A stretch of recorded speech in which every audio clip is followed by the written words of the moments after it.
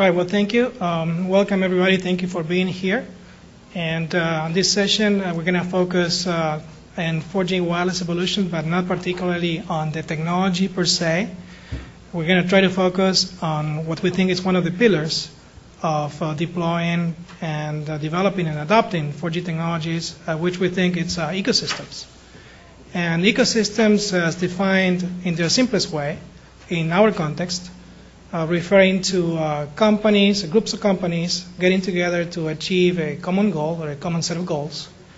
And there's a concept also of balance, equilibrium, and mutual dependency in ecosystems. So um, the other subtopic of uh, today is um, what we call the connected user experience.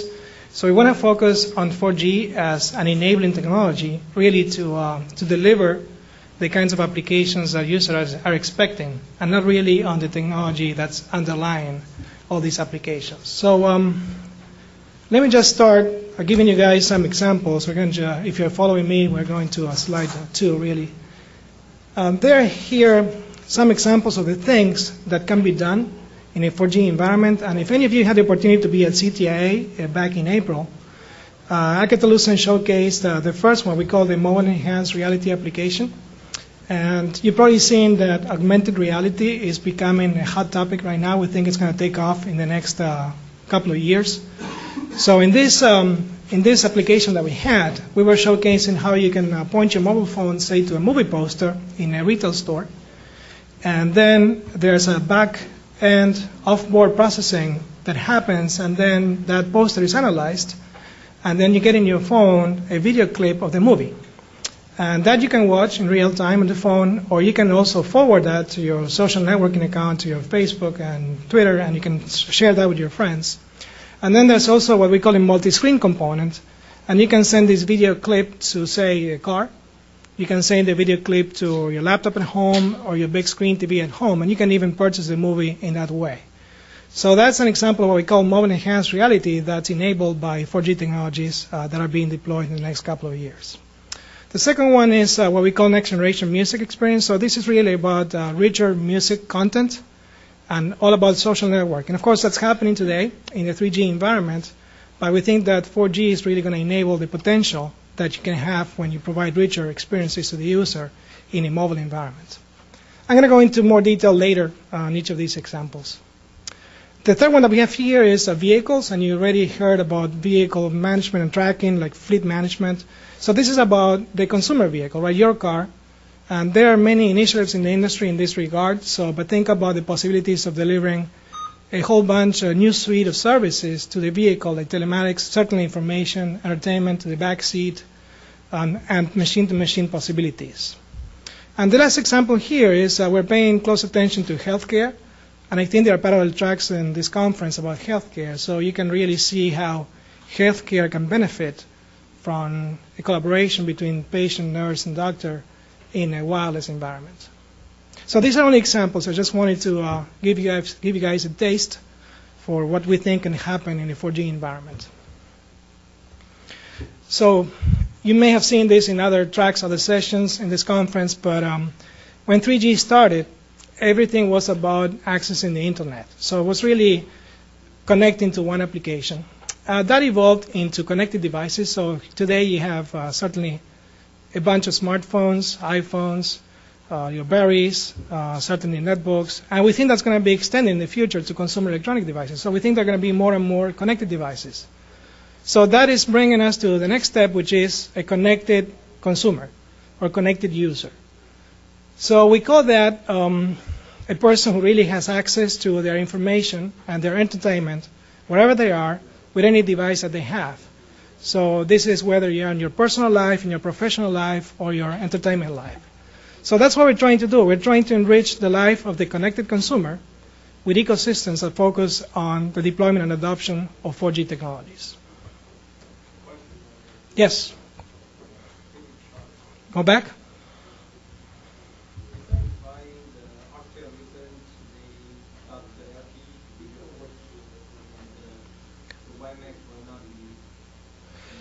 We, eh, you're asking about specifically Alcatel-Lucent?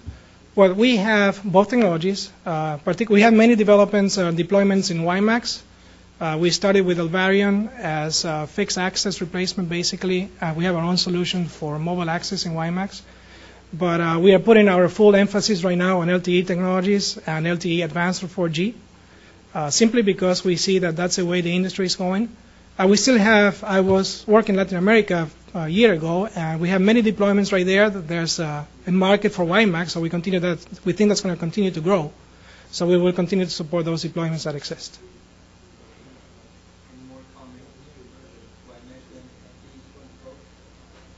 Any more comments? Well, we, we're placing a bet on LTE as a company, uh, simply because our major customers have adopted LTE. Uh, that started clearly with the Verizon announcement back in February in Mobile World Congress. Verizon is one of our major customers.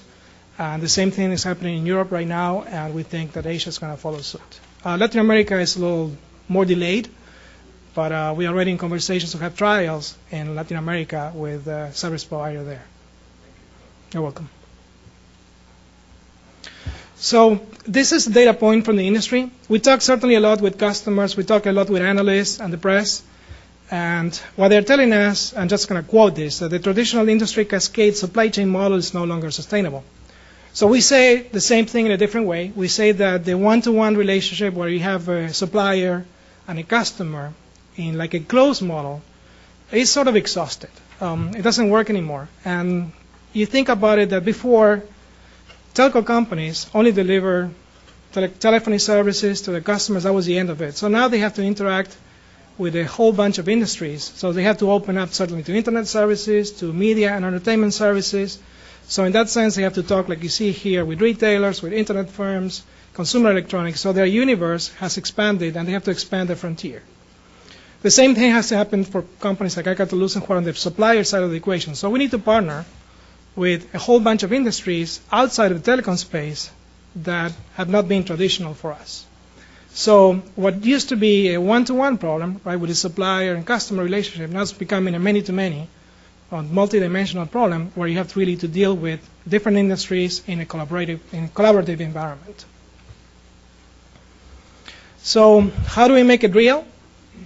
Well, um, Alcatel-Lucent conceived and founded this ecosystem that we call NG Connect, that stands for Next Generation Connectivity. So the goal of the ecosystem is really to bring together different players in the digital value chain, and we want to drive the development of those services that I mentioned to you before, innovative services that are going to stimulate the adoption of 4G technologies. And you'll see later that we have a whole bunch of industries, it's not only telecom, that are already part of the program things that we're trying to do is, well, we want to make all these players, all these industries talk in the same environment. Remember, the ecosystems are with different companies in different industries. So we want to make sure that they talk. Companies that don't traditionally talk to each other, we want to make sure that they, they work together on the development, on all the issues of the deployment of the technology. We also want to make sure that we identify sources of revenue, right? Because if we deploy a technology for our customers, we need to show them how the money is going to flow. So we also work on what the business issues are in terms of deploying these new services in 4G. We also want to make sure that everything is done early. So we think it's important to work on these ecosystems early and way before the technology is deployed. So you guys probably know that 4G is going to be deployed commercially in the next couple of years throughout the world.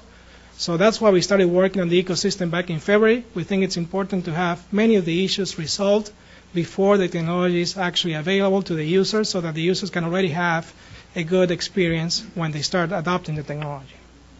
And finally, uh, some of the concepts that are being developed by this ecosystem NG Connect, they're applicable today to 3G technologies, but um, you're not going to find or get the same quality of experience. They really, they are really designed so that they can exploit the benefits of uh, high data rates and low latency that 4G, LTE, or WiMAX either one delivers. What are the industries that I mentioned before that NG Connect as an ecosystem is focusing on? And what are the different areas that we're working on as well?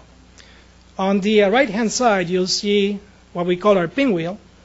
And you clearly recognize there that we have a lot of industries that are not telecom, as I mentioned before.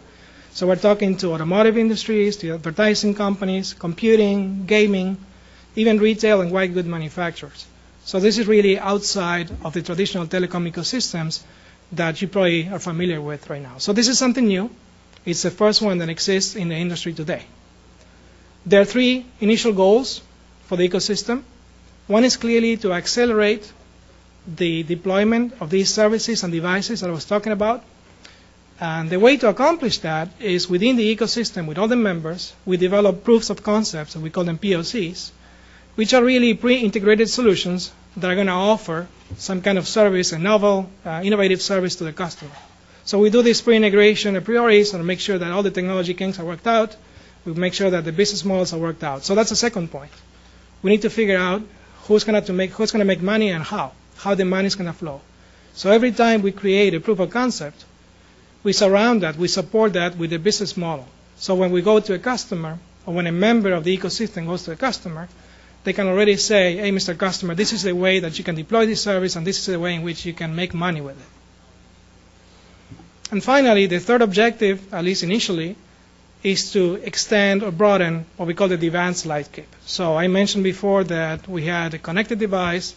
So now you, you probably have heard in the industry that there are companies who want to embed a 4G chip, WiMAX or LTE, in many consumer electronic devices. So this is like your connected washing machine, right? So it's becoming reality, and actually one of the members of the program is Samsung, and they already have this. They already have the white goods uh, that are connected. So that is happening today. Uh, certainly, machine to machine is a new field, and I think there's a parallel track here talking about machine to machine. We think it's extremely important. It's also going to be enabled and empowered by 4G technologies. And finally, the car that I mentioned before. There are many initiatives in the industry, so automotive is yet another terminal. If you think about it, the car is another terminal where you can consume all these kinds of services. We are focusing on five different areas. I'm going to mention them here, and then I'm going to spend the next uh, few minutes that we have on details of them. The first one is consumer media and entertainment. That includes uh, music, includes video content, includes gaming. Second one we call enterprise collaboration. And we clearly have a focus on e-healthcare right now, and additional focus on e-learning. The third one is automotive connectivity that I already mentioned many times, so I'm going to talk about that a little bit later also. The fourth is digital signage, and this may be new for some people, but it's about the dynamic content that can be presented in flat panel displays, replacing static billboards. And the last one is the computing experience, which you can equate to cloud computing and machine to machine. I think there's also uh, parallel tracks here that uh, discuss this. I think it's a, it's a growing area as well. Any other questions so far?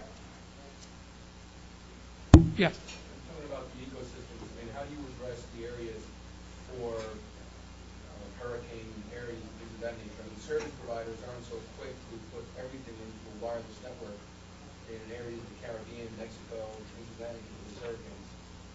How did 4G address that?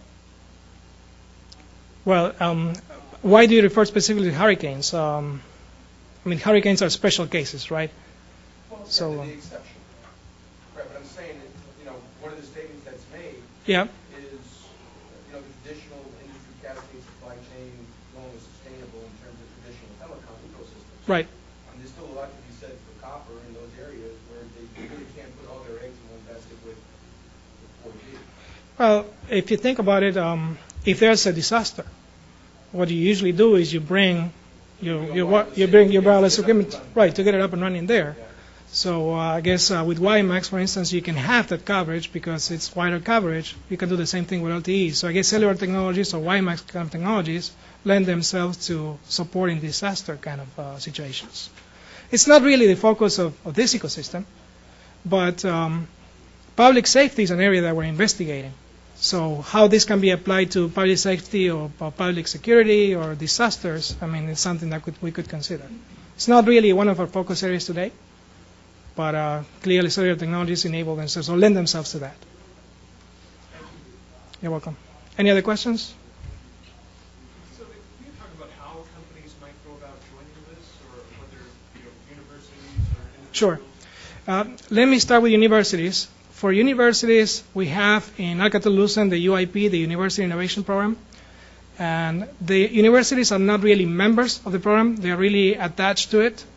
Uh, and there are some legal issues with universities being part of the ecosystem. So uh, we're really attaching them because we want to make sure that we are connected to the academia because a lot of the innovation sometimes comes from universities.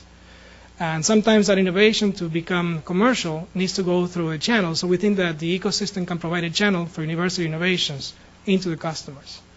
To become a member, um, the criteria is really simple. Uh, you really have to have something innovative that's going to enhance the, uh, the consumer experience in a 4G environment. So whether it's a product, a solution, or a service, it, it really doesn't matter. And um, there's no fee to join the program as of yet, although that may change next year. Uh, we started uh, this in February at Mobile World Congress in Barcelona. We have 25 members today. There are companies large and small and everything in between. So having, uh, I guess, a high revenue number, a large number of employees is not really a requirement to be part of the program. The idea is um, we want you to be uh, creative. We want you to have something cool. And I'm going to talk about now in the next few minutes of some of the companies and have some examples that fit into these focus areas.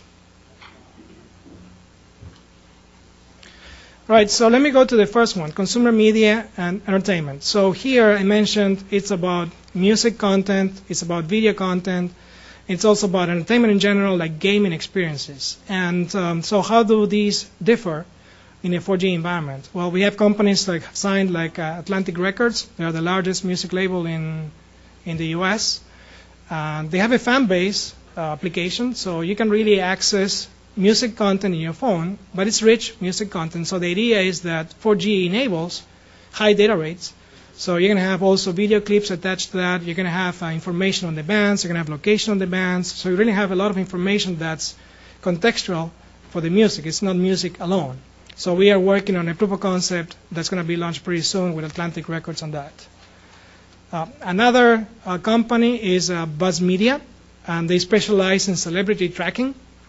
And um, this is cool. You can actually go. You can go today to celebuzz.com and you can see their web application. But they're working on a 4G mobile application. So if you're interested in knowing what Britney Spears is doing and where she is now, they can use location-based services and they can tell you right right this moment where she is. So that's what we're working on right now. Um, you can find celebrities. I think there's a delay of a few hours now because I think they do that process manually. So now we're working on adding real-time location-based services to that so you can figure out uh, who they are and who they're with, what they like, who they're dating. And of course, you as a consumer, if you enter an area that your favorite celebrity was in, then you can get information dropped to your phone on, well, she ate this, or you should you know, get a coupon, you get a coupon to eat the same thing. So things like that are really enabled by the data rates that we're talking about in 4G and the new kinds of applications that we're thinking about. In terms of gaming, uh, this is also cool because um, we're talking about mobile massive multiplayer games. So this is not your traditional vanilla game. It's games that really require low latencies. Uh, we have a couple of companies who are developing games. Um, one is called uh, Connect2Media, and they have developed the World Poker Tour and the uh, Guitar Hero for the mobile device. Another company is Fish Labs, and they have developed something called Powerboat Racing. You can download that today on your iPhone, although it's still a low bandwidth application. I guess it exploits the, uh, the advantages of Wi-Fi. But the idea is to make that commercially available in a 4G environment. And the key here for these games is latency. So they have to have, the network has to have under 70, 80 millisecond latency for the game experience to be satisfactory to the gamer. And you know the gamers are very picky about that. So really we think that WiMAX or LTE with high data rates and low latencies are going to be able to meet the demands of, of the gaming community. Uh, we have other companies, and uh, you guys can go. We have a website, ngconnect.org. Uh, if you're interested in other companies, you can always go there, see what the companies are doing, see what proofs of concept we have, and see other benefits that we think that ecosystems are bringing to the industry. In terms of enterprise collaboration, as I said, we're focusing on healthcare and learning.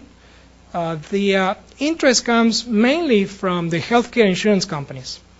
There's uh, an aging population, it says here in the US and Canada, but I think it's a, it's a world phenomenon. And there's a lot of chronic diseases, so the interest is really to extend the hospital environment where they're already using wireless technologies, mostly Wi Fi in the hospital. But the idea is to extend that to a larger community where with the cellular technology you can really monitor the patients and you can have collaboration among the patient, the physician, and the nurse. So we have um, a trial going on in France with Alcatel-Lucent where we have uh, blood pressure monitoring and blood glucose monitoring. So the person really has these devices that are, they could be Wi-Fi enabled, but you can think of the uh, e-book reader, the wireless e-book reader model that have a cellular device built in. So that's the idea. So you have a blood pressure monitor that has a cellular connection built in, and that is being monitored by your physician, or you can monitor that yourself. So that's really uh, one of the things that we're contemplating for healthcare application. The same for e-learning. Clearly, 4G is enabling users to learn anywhere they are. And 4G, because of the data rates, allows rich content also to be produced in an e-learning platform. We have a couple of companies there, Words and Numbers and LearningMate, that are part of the, part of the program. And they both produce content, and they can adapt the content for different audiences and different devices. So we are working now on a proof of concept that's going to showcase 4G video and rich content for the e-learning environment. Automotive, um, this is uh, we think it's pretty cool for the auto fans that we have in our in our team. So it's really about connecting the car, and there are a number of initiatives in the industry. Uh, you probably heard the Sprint and Ford uh, Office. I think they call it wireless office.